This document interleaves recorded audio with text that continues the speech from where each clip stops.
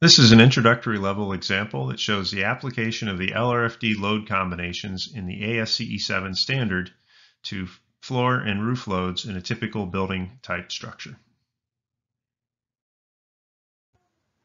For this problem, let's suppose that we're examining a building that's subject to the following loads. The floor is subjected to a dead load of 68 pounds per square foot and a live load of 75 pounds per square foot.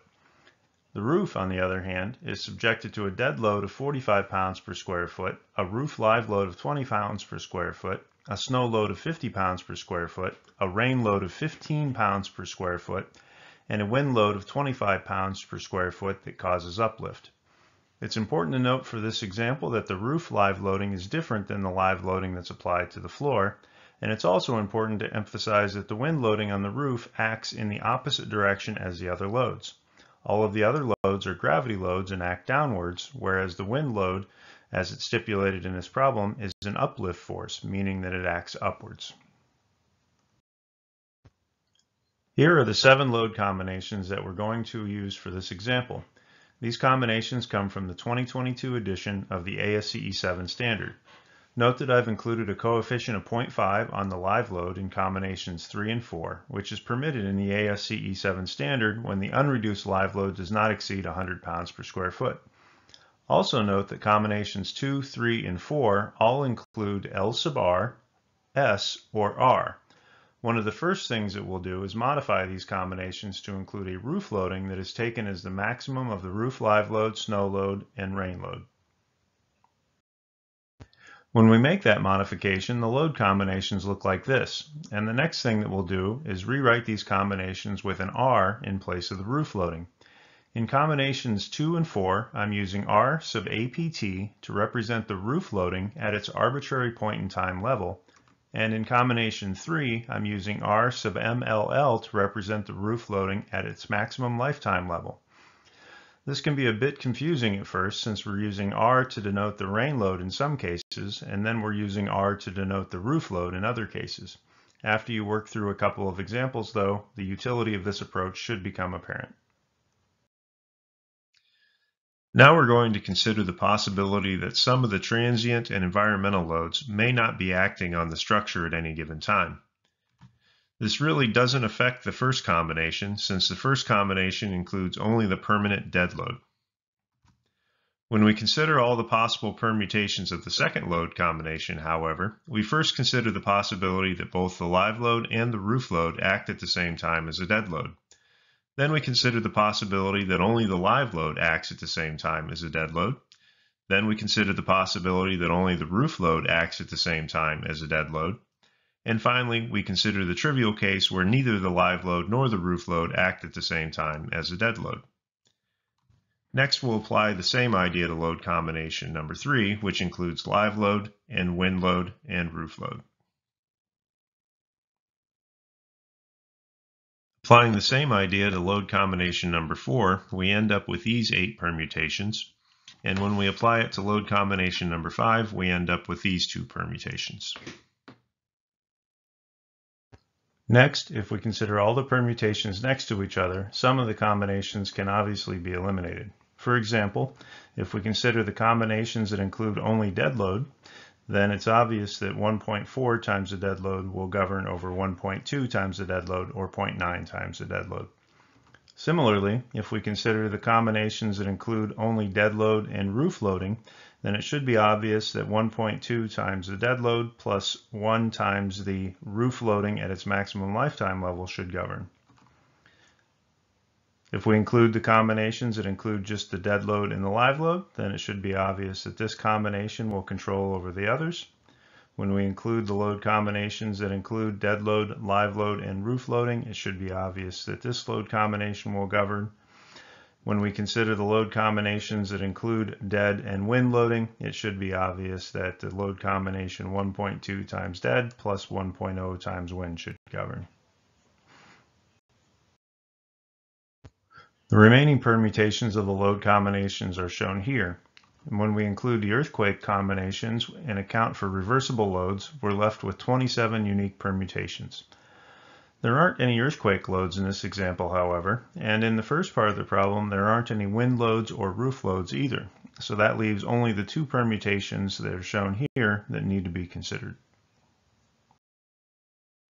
When we substitute in our values for dead load and live load into these two combinations, it's readily apparent that load combination number two is going to govern with a floor loading of 202 pounds per square foot. Now let's consider the roof. Again, there are no earthquake loads in this problem, so we can eliminate these permutations.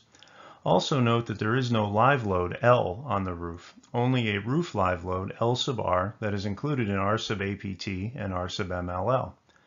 Note also that the wind load acts in the opposite direction of the gravity loads, so we can eliminate these combinations.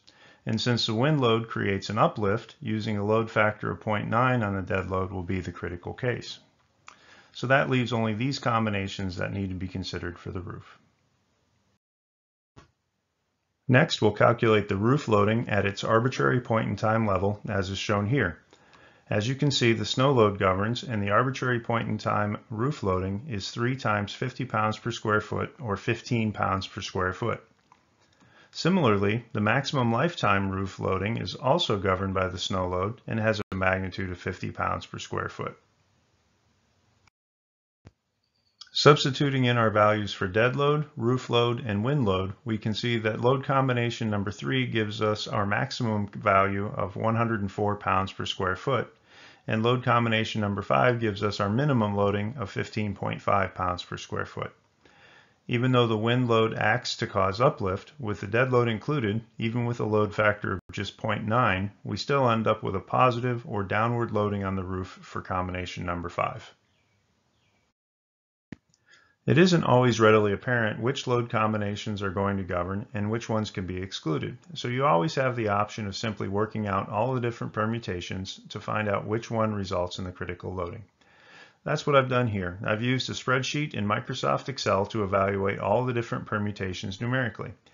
As you can see, we end up with the same maximum roof load of 104 pounds per square foot from load combination number three and a minimum loading of 15.5 pounds per square foot from combination number five. Using that same spreadsheet to double check my floor loadings, you can again see that we end up with a maximum floor load of 202 pounds per square foot resulting from load combination number two. Now let's consider a slightly different version of the same problem. Let's consider the possibility that the wind load could cause either an uplift or a downforce. In this case, let's suppose that the uplift has a magnitude of 52 pounds per square foot and that the downforce has a magnitude of 38 pounds per square foot. It isn't uncommon for engineers to have to design for both an uplift and a downforce, and it's not uncommon for those wind loads to have different magnitudes in the two different directions like we're showing here. When we consider this in our load combinations, note that we have to consider both the 38 pounds per square foot downforce and the 52 pounds per square foot uplift to be positive loadings. In other words, we don't substitute a negative value of 52 pounds per square foot in combinations 3 and 5. Instead, we use a value of positive 52 pounds per square foot and leave these negative signs here and here to indicate that this is an uplift force acting opposite to the gravity loads in that case. What these combinations show is that with the modified wind loads, we end up with a maximum roof loading of 123 pounds per square foot and a minimum roof loading of a negative 11.5 pounds per square foot. With this potential for a negative roof loading, we have to take corrective measures to make sure that the roof can't be lifted off of the rest of the structure during a wind event. Typically, you would tie the roof to the structure, or you would provide uh, additional dead load in the form of ballast to make sure that the dead load or gravity loads on the roof always outweigh the uplift due to wind. Finally, we can use a spreadsheet to evaluate all of the permutations of the load combinations numerically and show that the values of 123 pounds per square foot downforce and 11.5 pounds per square foot uplift are in fact the governing values for the second part of this example. That's it for this example. Thanks.